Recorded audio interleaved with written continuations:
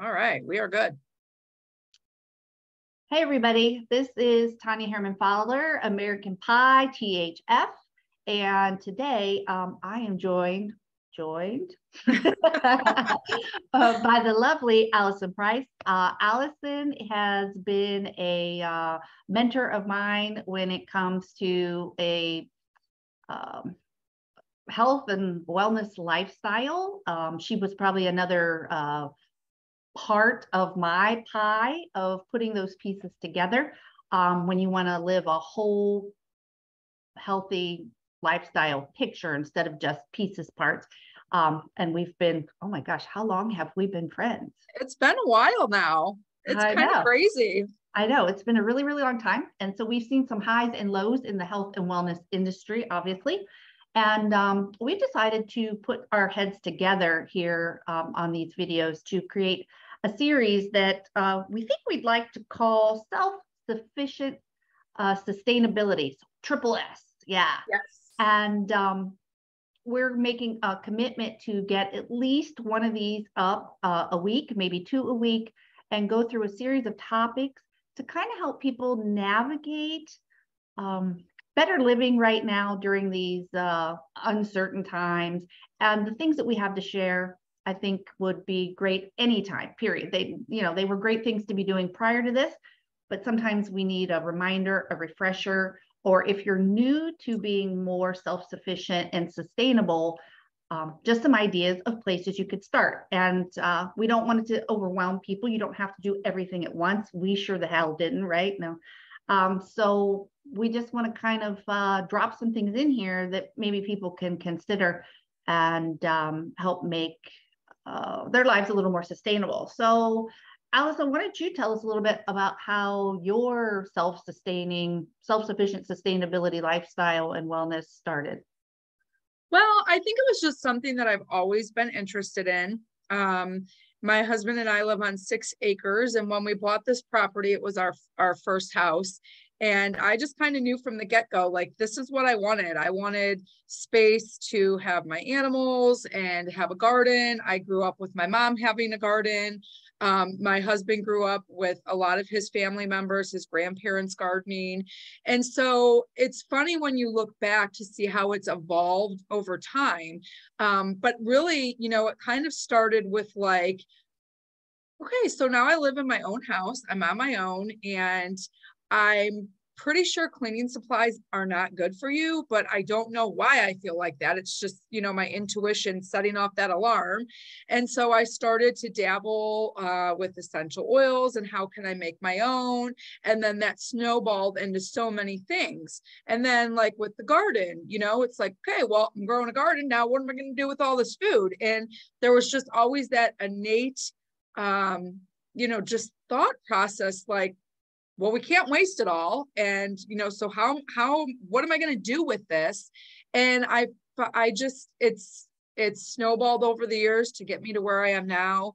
It's interesting because i find myself looking back through you know old books and notes and um, things like that from grandparents and great grandparents and then uh, you know over the last two years it's really spiraled into this isn't just a hobby anymore you know this this is a priority. These are things that you know it's not if i get to it it's i'm going to get to this. So i've got some tomatoes sitting right behind my computer screen right now ripening and in years past it may have been well if i don't get to them i'll throw them to the chickens. No i'm going to get to them you know or the pears that are falling off the tree outside. We're going to get to those.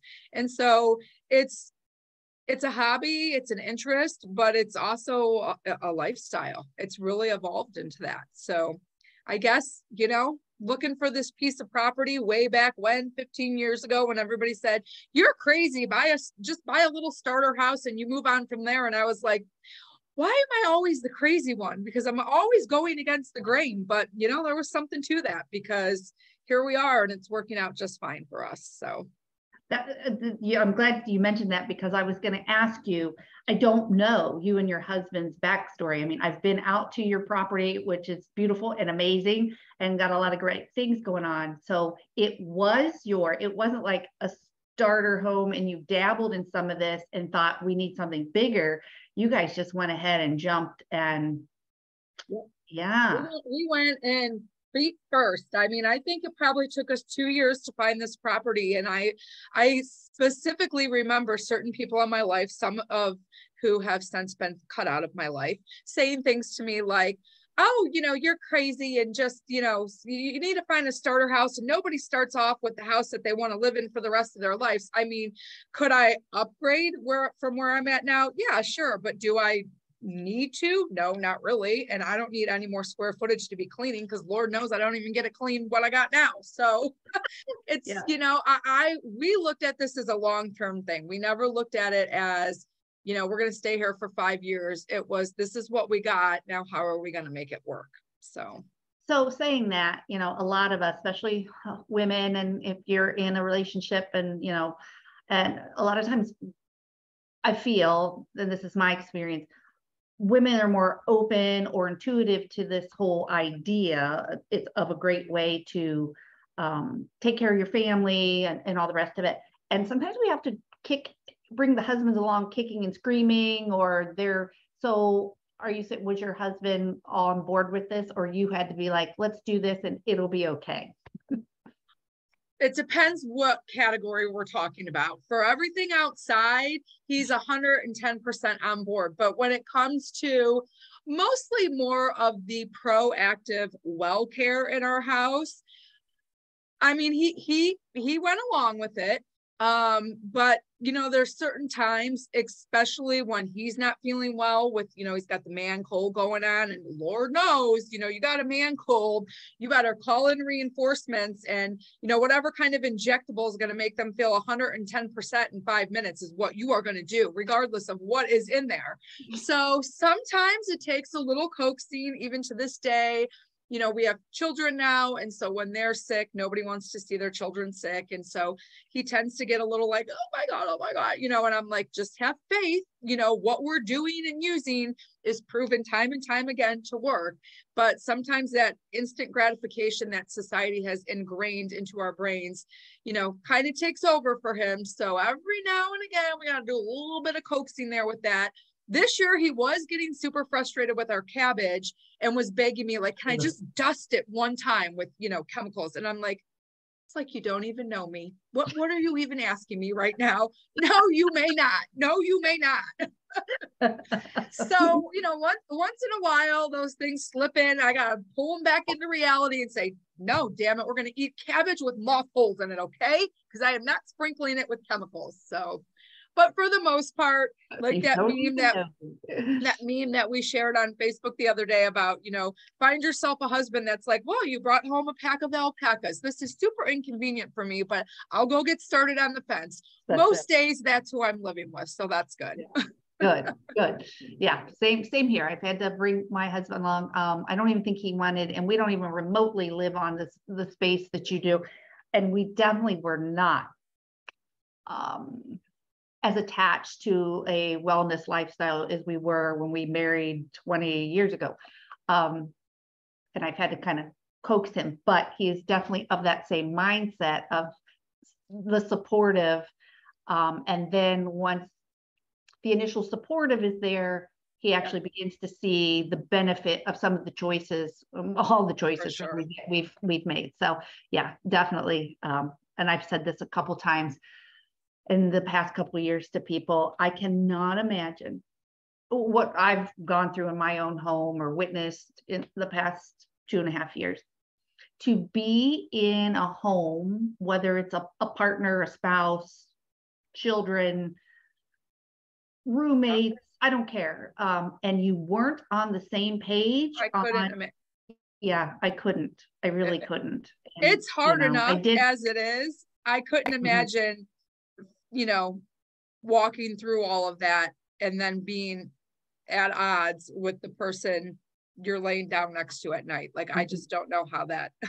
nope, absolutely not. We know a few, and yeah. I don't know how they're managing. I and unfortunately, I think I've heard of a few that during this time they did step, you know, divorce. I don't know if it was so much about not agreeing on these topics, but I guess the stress that all of these past Sure. couple years brought into a household, they finally decided this was their breaking point. I don't know what Yeah. a, what a terrible time to be going. It's not a great time Yeah, anytime, but then add that on top of, yeah. Yeah, Yeah. that's, I can't imagine. No, I cannot. So those those kind of things, I guess we definitely will be counting our blessings um for very much. so. Yes, for sure. As much as we want to go, I know. Yeah, listen to me. that's right. That's right. Why do we have to keep having this discussion? yeah. So um I because um like I said, Allison has been much more a mentor and um a go-to person for me on a lot of these topics. Um, I'm gonna let I'm gonna ask her a couple questions today to kickstart our topic number one of self-sufficient sustainability. And today we decided um, it could be an important time to look at food sourcing, uh, where our food comes from, how we might uh, go about finding more local, uh, more organic, or at least know where the hell it's coming from. Right. We've had a lot of conversations lately, and I have, it's funny, the universe, we have these conversations, and then you watch a, a television show where people are asked a question about their food and they're like, well, I get it at the grocery store. I get it at the grocery store. They the concept of how it actually gets to the grocery store is Right. yeah, it, it's um it takes people a moment to understand that it doesn't It's- just I don't know what what they think, but that's just their thought on their food. And I think with time now, we're definitely finding hello there. How are you Henry? He Oh. couldn't resist. Well, at least he was like a silent assassin. He just kind of came in quietly. the worst. Anyways, go ahead. I'll just be petting my hound dog All right, there you go. Um, but yeah, I mean, I think we're definitely finding out. I think we knew it wasn't good for, it wasn't great for us. Yeah. But now there's stuff out there that in some cases it might have intentionally been put out for us to not Yeah. be good for us, to Yeah. be a um a slow killer, if you will. I know that sounds ter- like harsh No, I think that's It- very accurate. yeah, it's very, very, very truthful. Um, so, um, have you always, um, I mean, I know you enjoyed having the acreage and growing things and that, but tell us about kind of how your journey of food sourcing came from you, start from the beginning. So I think my big, I've always been a little bit of a food snob. I, um, you know, growing up in high school and college, I worked at a fine dining restaurant. And so that really opened my eyes to, you know, cuisine and what's out there. And I've always been interested in cooking. I enjoy it. Um, and I think my biggest aha moment, honestly, I know it's cliche, but it was when I had my first child because all of a sudden it's like, I, I think it was probably maybe even a little bit before I had him, somewhere in that two year span of when we got married, we moved in. I started, you know, do I, I'm preparing all our meals. Um, but then when I had a baby, it was like, wow, what is in this food? And so that's when I really started learning and researching and learning about the foods that you're buying at the grocery stores and how you know you may think they're good for you. That's food marketing at its finest. And i always say i have a degree in marketing so i'm allowed to bash the marketing industry because i know what they're doing. And it's you know i did years of research. I used to write a blog and it was just kind of um, unveiling all the things I was finding out about, like um, CAFO, which are the controlled feedlot operations for cows, and you know how they're really, um, you know, we talk farm to table is a term that we hear a lot nowadays. Um, so I guess if you will, learning about what farm to table means when you're buying conventional grocery store meat, and so I just really started to learn about more about processed foods and the garbage that's in your foods and how you're supposed to shop the perimeter of the grocery store where everything ha- actually has an expiration date that's like a week out, not two years down the road. And so that kind of really catapulted everything for me. And then that coupled on top of having a garden and growing our own food and it, it's um you know, I really, um, that's what I'm looking for. I really curated our palettes, if you will, because, you know, you, you could give me a bag of Doritos back in the day and I put that bad boy back like it was amazing. And now it's like, uh, you know, I'm not going to say I never have them, but here and there on a whim when we have something like that, the the taste to me is just like, what was I what was I doing? What was I thinking? It just tastes like a piece of plastic or chemicals. And so um that really opened my eyes and I I really just became so passionate about learning about it and, and sharing that information with others and you know then you throw the gardening aspect into it and you hear people say all the time you don't know what a tomato tastes like until you tape, taste a ripe tomato picked straight out of the garden and i don't think i mean i know people don't realize that the the tomatoes you buy in the grocery store, you know, they're shipped from like we're here in Ohio. So a lot of our stuff's coming from the other side of the country, especially if you're eating things that aren't even in season right now that I'm, I'm I could go off in 20 tangents, but that's like a whole nother thing, you know, like do people even understand what eating in season means? I mean, you you should not I do not buy oranges this time of year. I just don't because they're not going to taste good. And people you know it it it, it, it kills me when people are like oh my god i'm returning this bag of oranges. They're horrible. Well karen it's august in ohio. It's not citrus season. Um, and when you do want citrus you are that is something where you are going to have to that's going to have to get shipped to you. You know you can't get citrus in ohio fresh citrus. But if you are ordering from a farmer out of florida or something you're going to get you know as fresh as you can get but it's not going to be the same thing in August or in September. So, um, learning to eat seasonally was a big thing for me. And then understanding how that also affects our bodies and our wellness. You know, there's a reason why we crave soups and stews and warm foods in the winter versus why we want greens and, and lettuce and you know fresh tomatoes in the summer. There's there's a biological factor there too. So i don't even remember what your initial question was but i could just keep going and going. I mean um, when you really start looking at where your food comes from and you start to curate your palate, if you will, and you learn what a real tomato tastes like versus a tomato in the grocery store that's been bred to withstand traveling across the country and still look ripe and still look fresh and you know not dented. I mean shoot my tomatoes from the backyard to the kitchen look like they've been through hell in a handbasket sometimes. So i can't imagine how these pristine tomatoes from california make it to ohio you know, looking like a blue ribbon tomato because they're just perfect in every way. That's just, that is the reality we've been taught to accept, but that is not reality. yeah, no kidding. Boy, that goes with a lot of topics. Um, yes. But no, I think you really, you, you did answer the question, which originally was, what took you down? Like, when did you start the whole food sourcing yeah. journey? Yeah, um, yeah. And so I know from being around you and being to your property, yes, you grow amazing uh, fruits and vegetables, but you are not um, doing dairy or meat or anything like that on your property. So, where do you feel that, you know, where does somebody start or where did you start when you wanted to get those things somewhere else?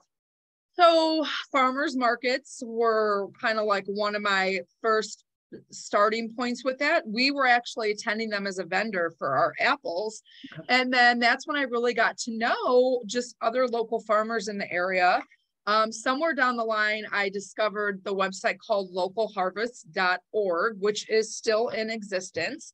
And it's a great place to seek out. I mean, now we're talking like 12, 13 years ago when you weren't driving down the road and seeing signs everywhere fresh eggs, you know, chickens for sale. I feel like you we're seeing that more now in the past two years than we ever have. But that's also a little bit more common where I live too. Um, you know, I'm not in as populated a, of an area. You know, if you go to a city, you're not going to see that as much. So then, um, you know, for me, it was also about so sourcing out other local farmers that maybe they're doing meat birds and they're going to sell some of them. Um, maybe they have a dairy cow and they're selling some milk or, you know, a herd share. Um, but it was also, if I couldn't find it from somebody like that locally, it was looking for the establishments that aren't just part of the conglomerate go- grocery store chains that are going to provide you uh, with the food that you're looking for. So in my area specifically back in the day, there was two, uh, if you will, grocery stores, I guess that they would call more of like a health food type of grocery store.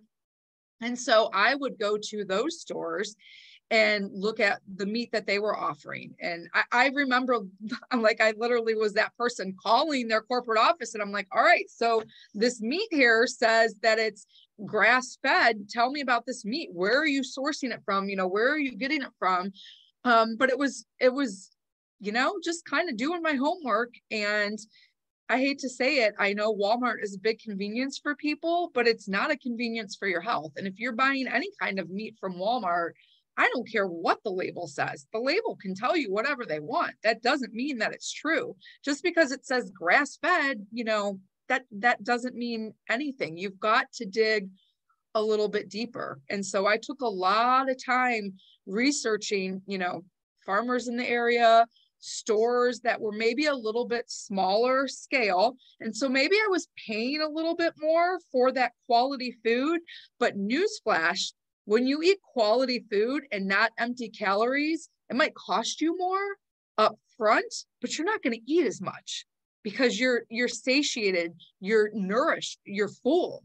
You know, you you're um I don't know, your frozen pizza may cost a fraction of what that nice chunk of grass-fed beef cost, but that grass-fed beef is going to nourish you, it's going to keep you fuller longer. You may get three meals out of it that frozen pizza might only cost you two bucks, but you're going to be hungry again in an hour and you've gotten no nourishment from it. So it's just a lot of just looking around what's around me, what's available to me, what farmers are in my area. And again, the local harvest website was very, um, very helpful with that. Attending local farmers markets because you're going to meet a lot of local people in your area that way. Um, and then the grocery stores, you know, seeking out. Um, I live in a small town, so we do have a smaller chain grocery store in our area. And from time to time, they will bring in locally sourced fruits and veggies and not really so much meats. I think their hands are a little bit more tied there with, you know, USDA regulations and whatnot. But just learning where, you know, where can you find the people that can provide for you what you can't provide for yourself and it takes a little bit of legwork at first but buying clubs are another thing. I learned about buying clubs and i i set up to be a host for one. And so what that was was a farmer in the area that would come to our house uh, like once a week twice a month. I don't remember what schedule we were on but i had to get so many families who then would each go through their menu of what they had available for the next week and they would order what they wanted like bacon burgers roast steaks what whatever they were offering. And then they would drive to our house with coolers. Everything was frozen and everybody picked up at our location you know twice a month or whatever that was. And so we did that for at least a good year with a local farmer that offered that as an option. Wow that's so, that's, that's yeah. cool. There's yeah it is really cool. And there's there's those options out there but you know these are all people doing this because they love it but also because they need to make a living and they can't afford to be advertising this to us you know like and most of the time they're busy doing their doing their thing you know they're busy out there tending to their animals tending to their crops. They don't have the luxury of sitting behind a computer and learning social media and figuring out how to market to us.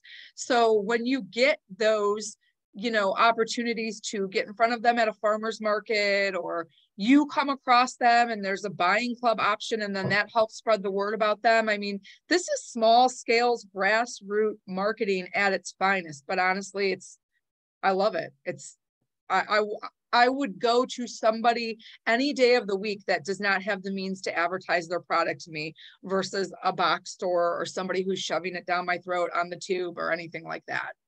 No, absolutely. Um, I have a question. Um, the localharvest.org. Now, did that site just provide you with sources local to us here in the state of Ohio?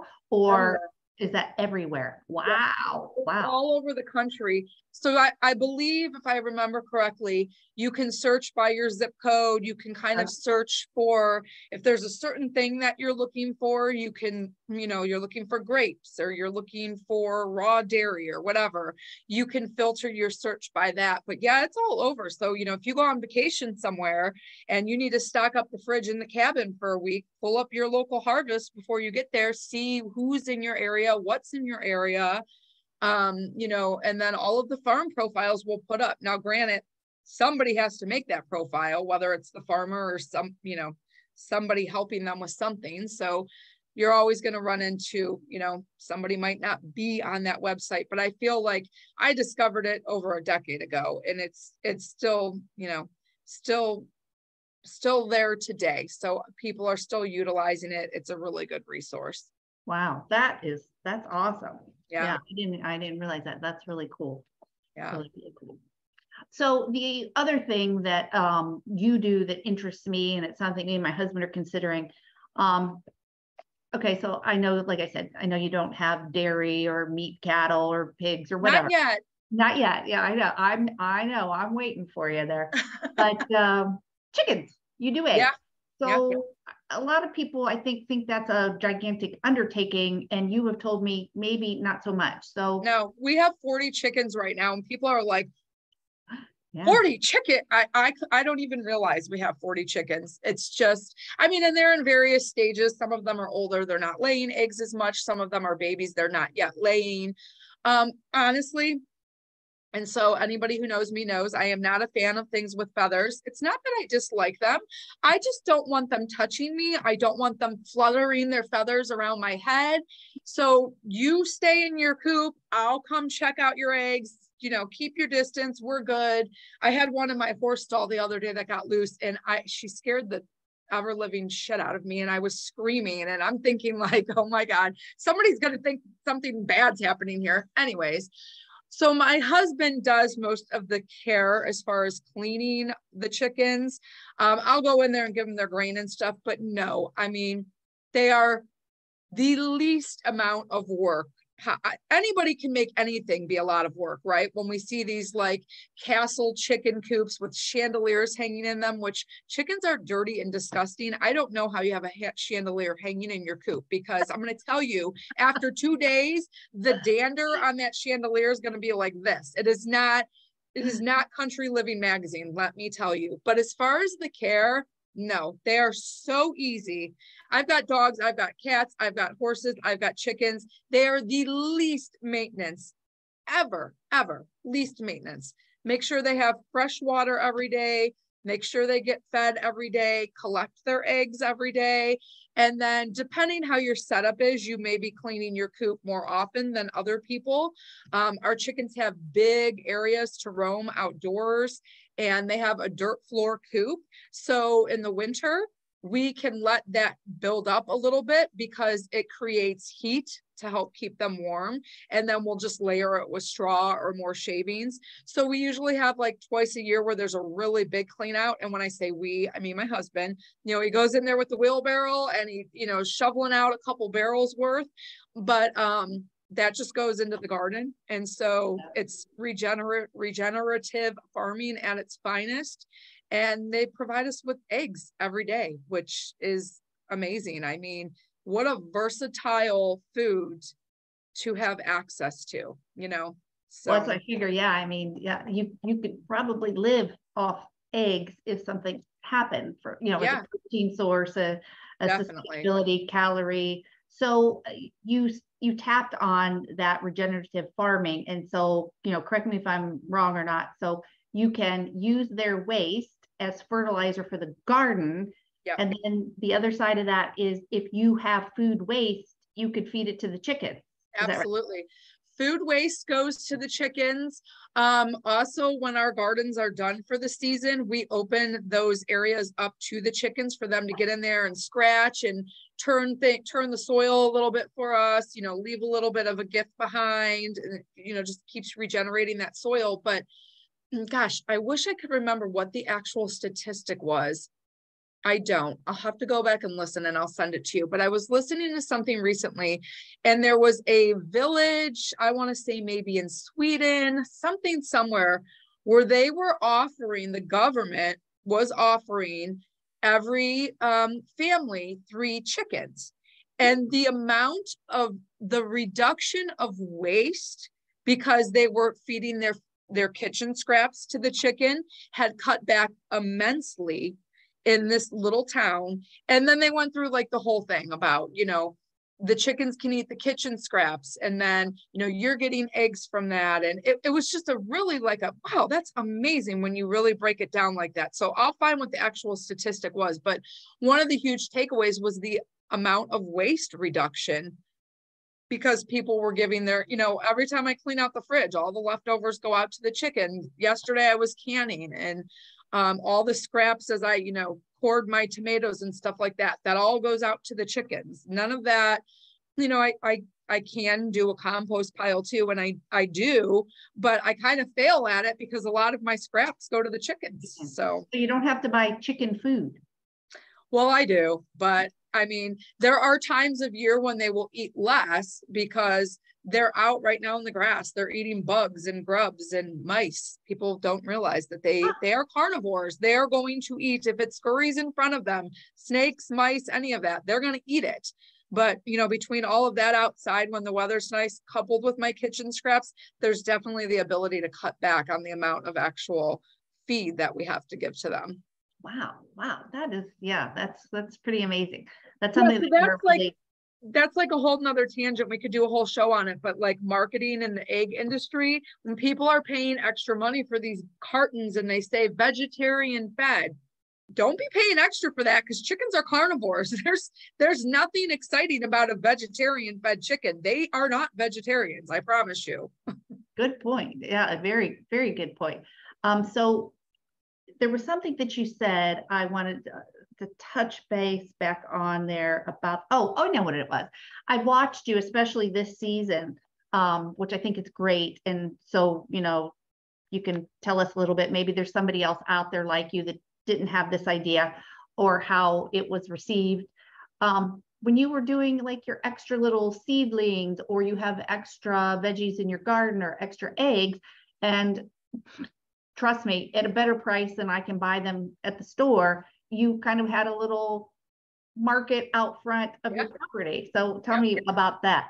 Yeah. So once I've got an abundance of things and I don't necessarily need to do anything with them, I've canned enough of it or whatever, we just set a little market stand out front and it's very well received. Like you said, I mean, much less expensive than what you're going to find at the grocery store. I mean, I think my husband harps on me daily that I'm I might as well give the eggs away for free because th- we charge 3 bucks a dozen and you can't even get disgusting anemic eggs from the grocery store for $3 a dozen anymore at this point. So, people, I mean, people will seek out you know the the trend, I don't know if that's the word I want to use, but the trend to move to more local food consumption is on the rise. And i you know i my advertising is just word of mouth and literally throwing it up on the community Facebook page saying like, hey, over here, I've got this out today if anybody's interested. And honestly, now it's gotten to the point where people message me, what do you got this week? Can you put together whatever you got? I'll take a little bit of everything. And, you know, here I am showing up at my kids' sports events and I'm bringing, you know, little curated boxes of whatever's fresh this week, you know, herbs and tomatoes and eggs and squash. And I mean, just whatever I've got that I can put together and people are making use of it and it's just you know i had one mom tell me she's like you literally saved my week because she's a single mom she's working all day she's running around she's trying to figure out what to feed her kids and one night it was you know scrambled eggs with some tomatoes on the side and I think um, there was berries that week, some blackberries. So then they had some blackberries for dessert. And she's like, I would have never had time to run to the grocery store and buy something as nutritious as what I was able to do here. And for a fraction of the cost, honestly. So, yeah, we've got some plans in the works to maybe have something a little bit more professional down at the end of, edge of the driveway instead of just a cooler and a table, you know, something to shade from the sun and that kind of things that I can leave out all day long. But I I enjoy it. And you know, the seedlings in the spring when I've got more than what I need, you know, I was people were purchasing some of my seedlings and again, that's a whole nother topic we can chat about, but I'm real particular about what I grow. I want you know, organic seeds. I want definitely non-GMO seeds. I don't want any of this, you know, Frankencrop stuff coming into my yard. I've spent many years being real, you know, methodical about that. I do a lot of heirloom seeds. And so the beauty of that too, the fun thing about it is you can grow some really unique stuff that you're never going to find in a grocery store. Never going to find it in a grocery store. So that's always a fun little perk.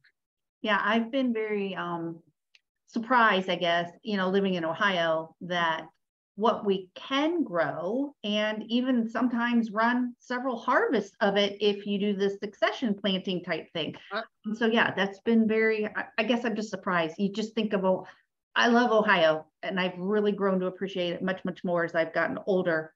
When I was a kid, and be like, Ohio, it's boring. Yeah but now I feel like it might be one of the best places to be for for a whole bunch of reasons. But yeah, yeah. our growing season here really is not terrible at That's all. That's super long. I feel like, you know, you go further south and you have a longer growing season or you can really grow all year long and you can get a little bit burnt out. I mean, I don't know. I'm just assuming that's probably how I would feel. You know, there comes a point where I'm happy to put the gardens to bed for winter and, you know, just kind of hibernate and plan for next year and, you know, source out other people that have things I need that I don't have right now and then live off of what we've preserved and saved and stored. And, you know, if it was a constant 365 days a year of production in the gardens, that that would be very tiring. I would agree with you because this is my first year of uh, not gardening, but it grew from you know a, a big 10 foot planter box to now it's outside of the planter box and it's in this corner and and and all of that and every day I was out there twice a day watering harvesting taking off little dead things I put yeah. I put fresh cardboard under my big fruit to keep it off the ground, and you got to yeah. replace that. Um, so the days that it rains or something like that, now that we're in August, end of August, I'm okay with that. yeah, you're you're sitting on the porch with a glass of wine, like, yeah, you water the garden today. That's Thank right. you. yeah. At first you're like, I gotta get out and water. I gotta get out and do this. And then as that, you know, three, four months goes by, you're like, okay. Yeah. I'm real methodical about the tomato plants in the beginning, like any sign of blight on a leaf, and I'm out there picking and pruning. And now I'm like, oh my gosh, just give me the last of what you got, and I'm ripping you out. Yep, absolutely. Yeah, I understand that so so much. So, um, I'm gonna come at this um, way different than Allison because I'm I don't live in the same community that she does. Not that I don't have access to that, but um, even for me to come and visit her is a bit of a drive. And um, we all know now, you know, you got to watch your gas prices, right? Um, but so locally for me, um, I have found a few other farms kind of that you can do meat uh, locally and you don't have to buy at the grocery store. So you know that um, there's one in Hartville that I know for a fact oh. she uses a lot of, uh, this is Harmon Creek Farm. She uses, because I forget what the um, method is, and you might know this better. She's actually studied with this person or went to their farm in Virginia, I think. Oh, Joel they, Salton. Where they do a lot of essential oils in the cows, oh, all the farm animals' food, and they're oh, that's cool. Yeah, so they're they're naturally providing them with, you know, instead of antibiotics and hormones, they're yeah. using more natural plant-based product inside their feed to yeah. produce, you know, a different kind. So uh, that, and I also have um, another place nearby me that I've discovered in the last couple months. Um, it's called uh, Hartville Seafood and Meat Company, and they're products come from a farm in Hartville again, but they have a, a storefront here in Jackson Township.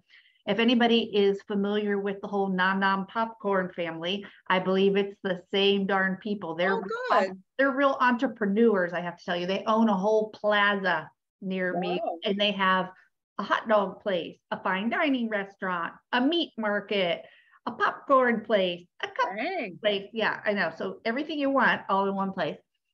And um, their meat in there, they make their own beef jerky. Um, it seems like if they have some excess of something, they're marinating in some uh, local marinades. Uh, I see a lot of Amish based or Southern Ohio based products in their store. That's all they have.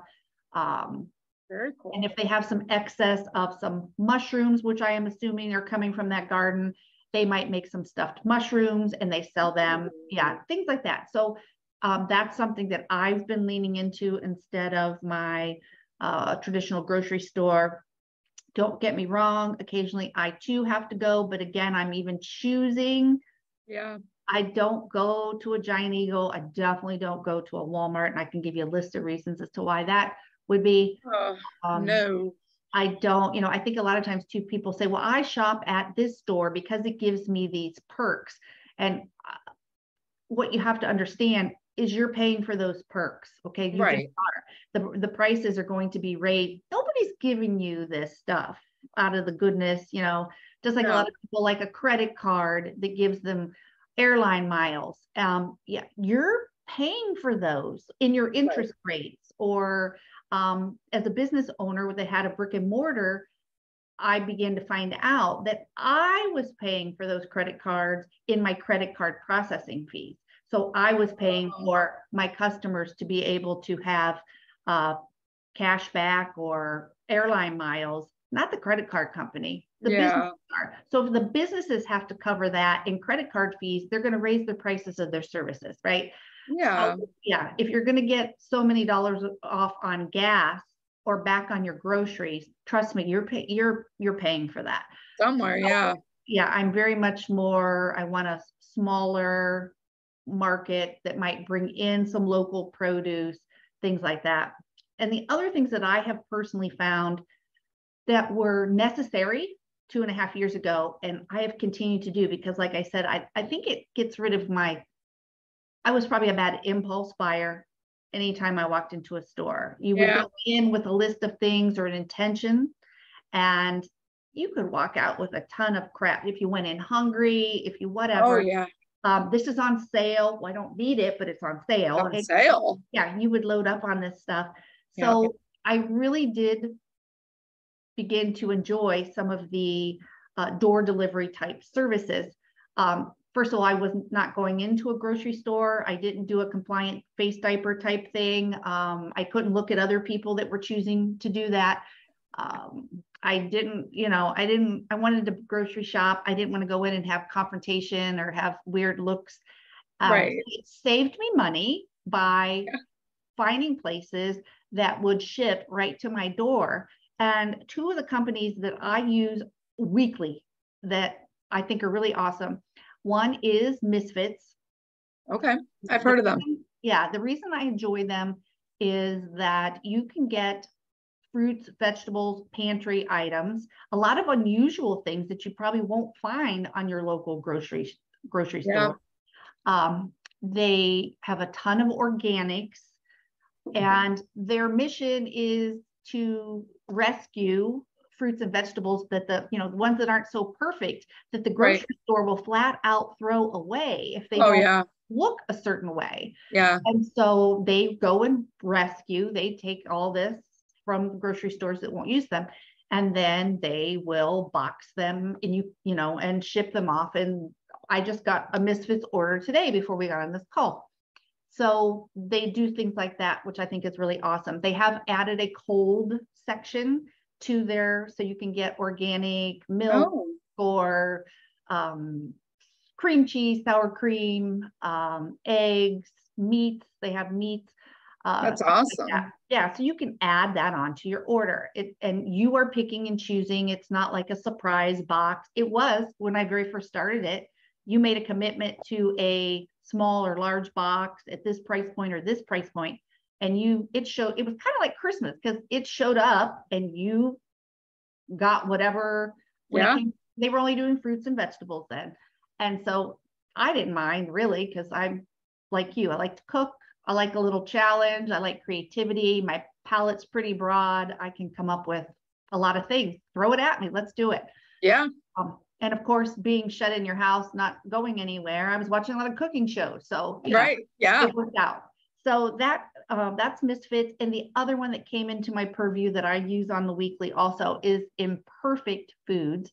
Again, Oh, they okay. have organics and not organic. I feel that they don't have as many organic choices as Misfits does. Um, but again, they'll do things like rescue, let's say, pistachios or pecans. Okay, so I don't know. My husband's in the transportation industry, and he tells me sometimes, let's say you're you're carrying a pallet full of pecans, okay, for a company, who- whoever out there sells mass merchandising pecans. And if the shipment comes into the shipper and the box is smashed, the shipper, the can the the company can refuse that. That's Okay. crazy. Yeah. So companies like Imperfect and Misfits then will take those, buy those products back from those at a discount, repackage them in their imperfect or misfits packaging, and it tells you on there rescued pecan, you know. Um, they even have so I think this is the best. They have sausages that are kind of meat and plant based, and they'll say made with chicken and pork and ugly vegetables. And they make stuff. Hey, there you go. I think it's pretty cool. I think it goes into that whole uh, sustainability thing, which Yeah. I'm more and more embracing. But so if you're not, if you don't have the land or the time to do your own growing, um, you don't live in a farming type community, you feel like that's too far away from you, you're not there yet, you have options if you live in Yeah. a city to have those Yep. kind of things dropped right on your doorstep. And what For we- sure. the buyers club, stuff like that. I mean, I think those things have really become accessible to everybody. Yeah. And I feel like it can be intimidating for people sometimes too. You know, like you're trying to transition out of the societal norms of grocery stores where you're just kind of force fed everything. And now I'm telling you that you've got to go out, find a farmer, chat with them. Like I remember the first time my mom ordered a quarter cow because we're, I've been doing that for years now. And she was just like beside, wait, what? I have to call the butcher? But what do I say? I said, he will walk you through everything. He's going to explain every cut, give you your options. Like, but I get it because I was there too at one point, the first time I ever ordered it. And you know, and the farmer's like, all right, this is what you owe me. Send me a check. Go to the butcher. You owe him the processing fee and you got to call your cuts in. And I'm like, what does that mean? You know, and so there is a learning curve. And, you know, you've got different kinds of people. You got people who are going to persevere right through that and figure it out. And then you've got people who are like, whoa, I'm going to Walmart, I'm getting my meat off the shelf and I'm calling it a day. Like that is way too much, you know, too intimidating. So, you know, it's a process. Maybe you start with these companies like you've mentioned, and then depending where you live, you know, I mean, I live by a lot of Amish, so I march right up to their door. Hey, what do you got? You know, like they've got signs that tells me everything they've got to offer right now. And then I've got to walk up there and I got to, you know, like wander around until somebody sees me and comes out and looks at me like, what are you doing here? Even though they're selling provisions and it's like, I'm here to buy, you know, it's just very awkward sometimes, but it doesn't bother me. Yeah. A hmm. lot of people would be like, no, thank you. I'm going to go to the grocery store. So there's a learning curve there. And Agreed.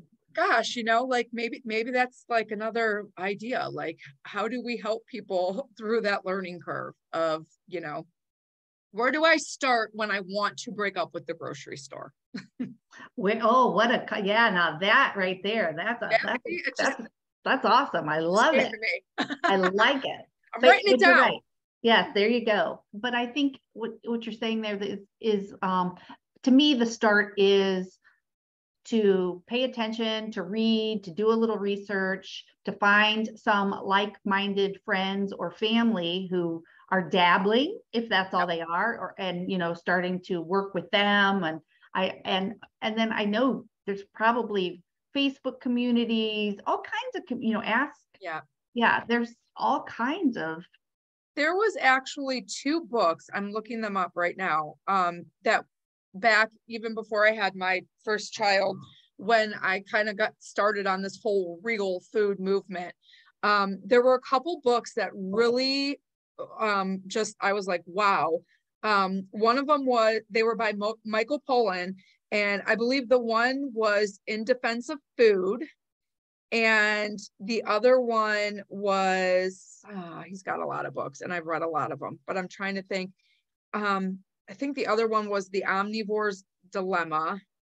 Those were probably the first two that I read. um, And then there was also um one more book by a different author. Uh, her name was Nina. Nina, what was it? Real Food, Nina. There it is. Um, Real Food, What to Eat and Why by Nina Planck, P L A N C K. Let's see, I'll show you a picture. Oh, is it gonna let me show you a picture? There we go. Kind of, maybe. food. I'll give you, I'll send these to you so you can put them in the notes, can Put but them in the notes, yes. yeah, I, one of them I read, and then I believe the other two I actually listened to as a book on tape when I would drive to work. And it was eye opening for me. It was really, really an eye opener to just transition out of that industrial food complex. And I think now, you know, and we've talked about this, you know, so many people and, and like especially kids, you know, they're eating a chicken nugget. They don't there's a chicken nugget that came out of the red bag that mom pulled out of the cooler at the store. Like they have no clue. And I thought about this the other day when my kids eat meat, they're like, so is this, did this come from a cow? Did it come from a pig, from a chicken? Like, what is it? You know, like last night I, we had pot roast and my daughter was like, so is that cow? Like, what, what am I eating? You know, they, they're a little bit more aware and there's too many adults that aren't even aware you know the the impossible burger and all this plant-based burger garbage and stuff. People don't realize how much junk is in there and they Mhm. think that they're doing better for themselves by making their those choices and they're not. So those three books were uh, um really big for eye opening for me to really start to understand know the difference um and uh, you know real food i mean if it's got an ingredient label you're not off to a great start you know but hopefully it's only got a few ingredients on it because once it's this long you're in trouble Yeah, well, you know, I say what you said, like Impossible Burger and Beyond Burger and things like that. The upside to that to me is at least those people are in the mindset for change or something different or the very healthier al- alternative. Yeah. So, um, yeah.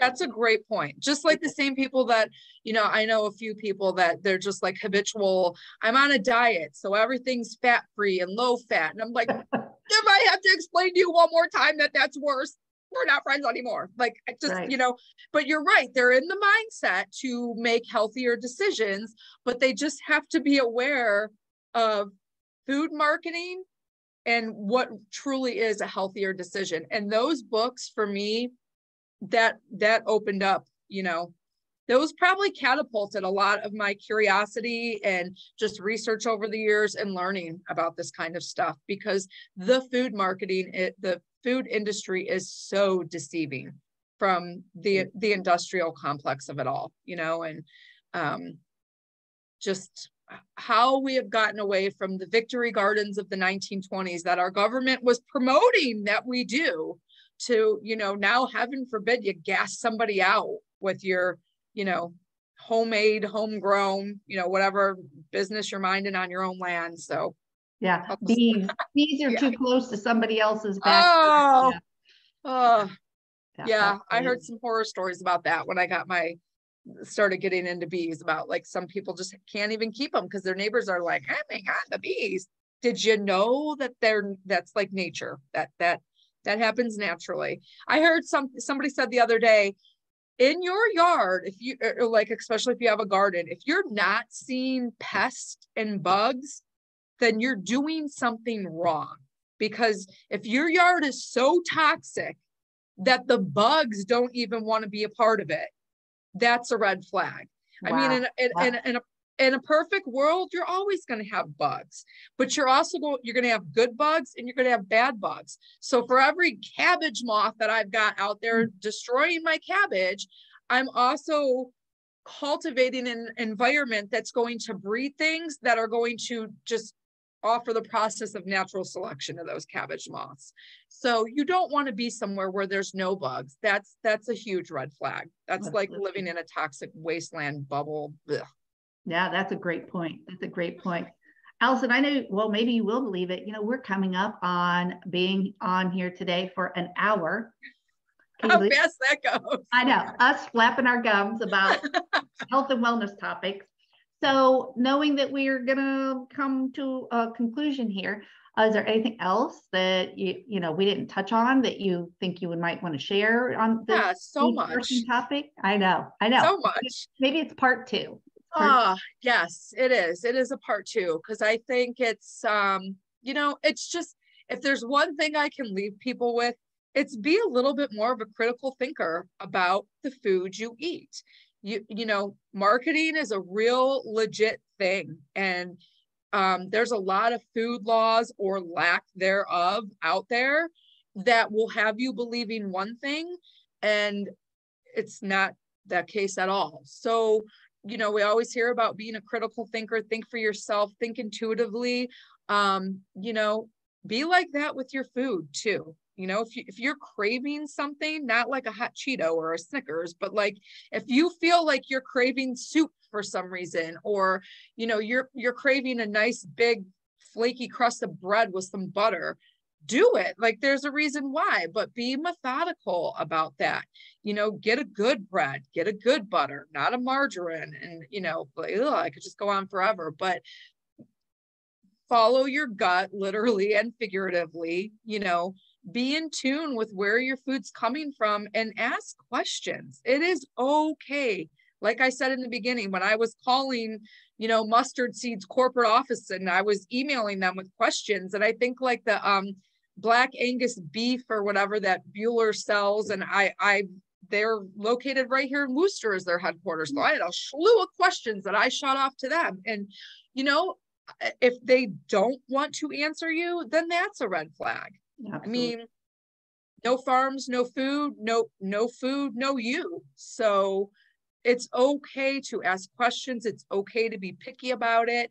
Um, and like you also said somewhere along this last hour about skills and learning new skills, you know, learn how to stock your pantry so that when there's no bread on the shelves, it's no sweat for you because you can make that at home or you know learn how to start preserving freezing canning um, every little thing that you can tuck away might not be enough to get you through until the next season but between that and the connections that you make surely something can be figured out.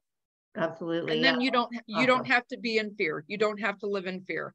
And when you're not fearful when you're not living in fear you're living a whole nother kind of life. Ah, and and that that is scary for the powers that be because i call it freedom yeah yeah that that is true freedom it when is. you can go into the grocery store and you're not panicked because the shelves are bare bare um that is true freedom for it sure is. Absolutely. That was a great way to uh, wrap this up today. Yeah, that gave me some goosebumps. I know. I know. Me too. My legs are goosebumps. So, Alice, where else, um, besides this wonderful video series that we're going to continue here for a moment, can people find you? Um, right now, I am most instant or active on Instagram. I have an email list as well that you can join when you find me on Instagram. All the infos there are in my bio. Um, but that's just what I'm enjoying right now. You know, I have a love hate relationship with social media, and Instagram brings me joy. So whether I'm, you know, gaining followers or not, I don't know, but it's where I like to share my information. And luckily, most of the stuff that I'm sharing doesn't have me censored at the moment. I mean, there's going to come a day where they don't want me to tell you how to grow a tomato and, and preserve it for the winter, but for now, we're okay. So it's just um, first name underscore last name. So Allison, A L L I S O N underscore P R E I S S, and it's pronounced Price, which is very confusing. well, fantastic. So we're going to post this video. Um, obviously, you're probably seeing it on Rumble or Telegram. Um, I'm going to put in the description box below, if you didn't catch it, ways to catch Allison, some of the books she uh, recommended, and the localharvest.org. We are also up for um, topics of discussion. Anything you want to uh, send along that maybe you'd like to know more information about, we either have a little bit of knowledge on that, or we really kind of get we get giddy to do a little research. So yeah. we're up for that. So yeah. uh, again, Allison, thanks. It's been a whole lot of fun today. Yeah. Thank and, you for having um, me anytime. perfect. So uh, yeah, everybody, thanks. American Pie, THF, and Allison Preiss, and we'll see you soon. Thanks, guys.